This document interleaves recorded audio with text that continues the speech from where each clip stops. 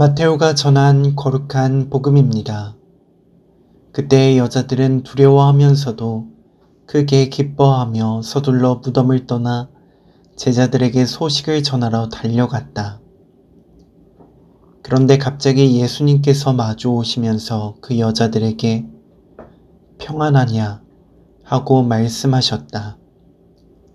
그들은 다가가 엎드려 그분의 발을 붙잡고 절하였다. 그때 예수님께서 그들에게 말씀하셨다. 두려워하지 마라. 가서 내 형제들에게 갈릴레아로 가라고 전하여라. 그들은 거기에서 나를 보게 될 것이다. 여자들이 돌아가는 동안에 경비병 몇 사람이 도성 안으로 가서 일어난 일을 모두 수석 사제들에게 알렸다. 수석 사제들은 원로들과 함께 모여 의논한 끝에 군사들에게 많은 돈을 주면서 말하였다. 예수의 제자들이 밤중에 와서 우리가 잠든 사이에 시체를 훔쳐갔다 하여라.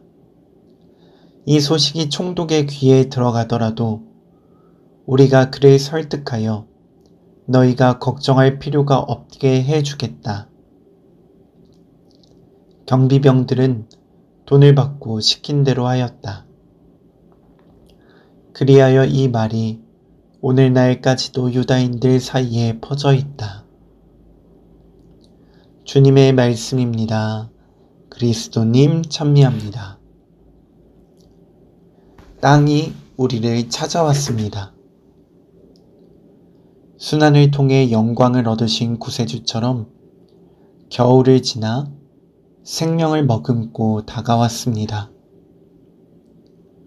부활을 닮은 봄의 땅처럼 싱그러움과 강인함이 삶에 가득하시길 기도합니다.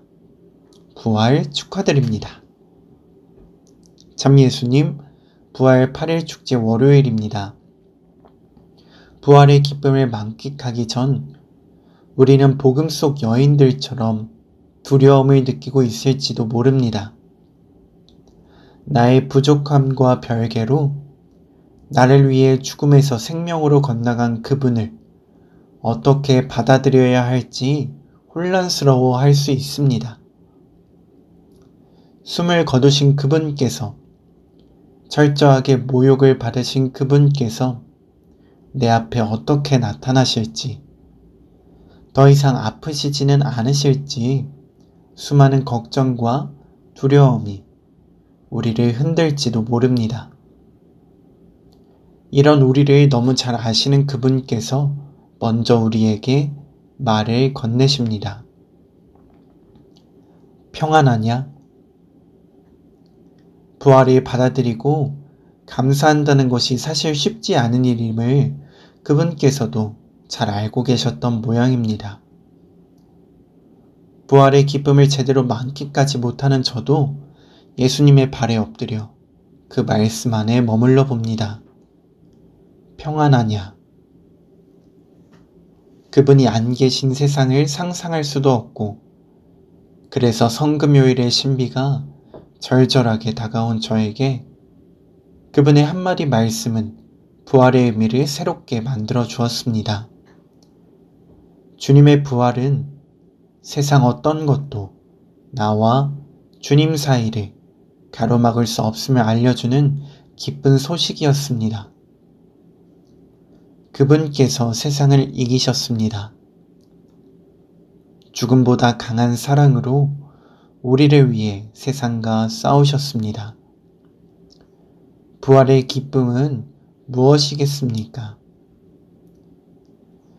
세상을 이기신 그분과 함께 이제는 두려움 없이 복음을 실천하는 것이 아니겠습니까?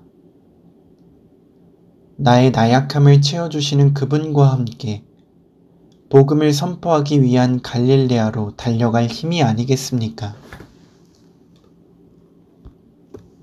우리 각자가 평안하냐는 그분 음성에 천천히 머무르며 부활의 기쁨을 내 마음에 가득 채우고 흔들리지 않고 주님의 일을 할 수 있는 은총을 청하는 하루를 보내보도록 합시다.